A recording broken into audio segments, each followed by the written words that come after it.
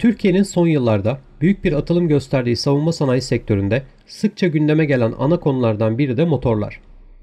Geçtiğimiz günlerde ülkemizin milli ve yerli olarak geliştirdiği ilk genel maksat helikopteri Gökbey'de kullanılacak TI-TS-1400 turboşaft motorunun tanıtımı gözleri bir kez daha Türkiye'nin bu başarı serüvenine çevirdi.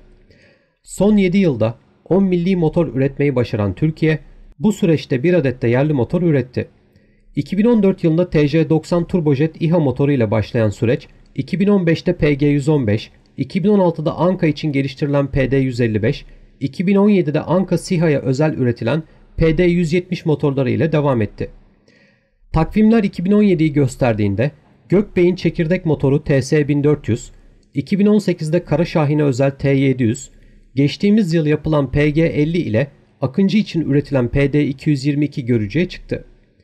Bu yıl ise Türkiye söz konusu alanda büyük bir atılım gerçekleştirdi ve TJ300 ve TS1400 motorlarını ard arda kamuoyuna tanıttı.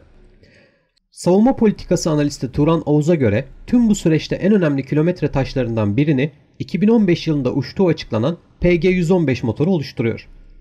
Türkiye'de ilk üretilen yerli motorun PD170 olduğu konusunda genel bir kanı bulunduğunu hatırlatan Oğuz, Ankara ile İsrail arasında geçmiş dönemde yaşanan sıkıntılar nedeniyle motor üretimi konusunun daha geçmiş bir döneme dayandığı bilgisini paylaştı. Türkiye 2005'te İsrail'den Heron alıyordu. Ancak özellikle 2009'daki One Minute olayının ardından İsrail ile ilişkiler bozuldu diyen Oğuz o dönemi şöyle özetledi. Heron almak için imzalanan anlaşmalar olmasına rağmen ilk etapta bize elektrooptik kamera satışı yaparız ancak lazer işaretleyicisini vermeyiz dediler. Bu tabii ki Türkiye tarafından kabul edilemezdi. Türkiye daha o yıllarda örtülü ve açıktan ambargoya maruz kalmaya başladı ve hemen kendi yol haritasını oluşturdu. Tel Aviv yönetiminin tazminat ödememek adına mevcut sözleşmeye uyduğunu ancak bunu yaparken diğer yandan da ciddi engellemeler yaptığına işaret eden Oğuz, o dönemde maruz kalınan durum nedeniyle Ankara'nın gerekirse üretiriz yaklaşımını daha çok sahiplendiğini söyledi. İsrail'in Heron için kamera vermemesinin ardından Aselsan'ın Aselfilir 300T elektrooptik, keşif gözetleme ve hedefleme sistemi çalışmalarına başladığını anımsatan Oğuz, tabii ki ilk üretilen ürünler ağır oldu. Ağırlık limitlerinin aşılması sebebiyle platformlar zorlandı. Hatta 2011'de kaza kırımlarda meydana geldi. Ayrıca o dönemde bakım ve onarım için İsrail'e yollanan 5 motorun uzun bir süre geri gelmediği ve bu durumun krize neden olduğu basında da yer aldı. Turan Oğuz, Türkiye ile İsrail arasındaki anlaşmanın ardından 2013'te söz konusu Heronlara dair garanti sözleşmelerinin bittiğini söyleyerek gelişen süreci şöyle anlattı. Garanti bittiğinde elimizdeki ağırlık limitinin üzerinde motor onarımı konusunda sorunlar yaşayan ve yedek motor sayısı son derece kısıtlı bir Heron vardı. Garanti bitince bu duruma TEİ müdahil oldu ve çok sayıda probleme rağmen sistemin uçar halde kalması için PG115 projesi hızlandırıldı.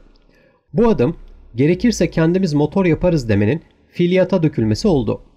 Bu süreç öncesinde kamera içinde yerli çözüm hayata geçirilmişti. 2015 sonrası milli motor takılan Heron sorunsuz bir şekilde göklere yükseldi. TEİ Genel Müdürü Mahmut Akşit'in adını vermeden PG-115'in Aralık 2020 itibarıyla 30 bin saat uçuş süresini geride bıraktığını söylediğini aktaran savunma politikası analisti Turan Oğuz, büyük sorunlar yaşayan Heronlar için başarılı bir şekilde ortaya konan bu çözüm ve yapılan motor büyük bir mutluluk kaynağı. İlk üretilen milli İHA motorunun 30 bin uçuş saatinin geçtiği bilgisi ise ayrı bir gurur verici. Açık kaynaklara göre elimizde hala görev yapan 7 adet Heron var. Demek ki ürettiğimiz PG-115 yoğun olarak çalışmaya devam ediyor. Bu bilgilerden yola çıkarak motorumuzun başarılı olduğunu net bir şekilde söyleyebiliriz şeklinde konuştu.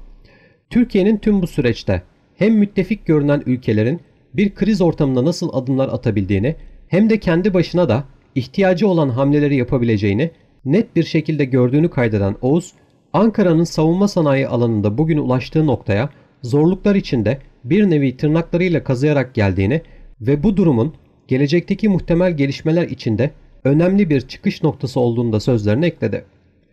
Konuyla ilgili gelişmeler yaşandıkça ve uzman isimlerden değerlendirmeler geldikçe sizleri kanalımız üzerinden bilgilendirmeye devam edeceğiz. İzlediğiniz için teşekkür ederiz. Bir sonraki videoda görüşene dek hoşçakalın.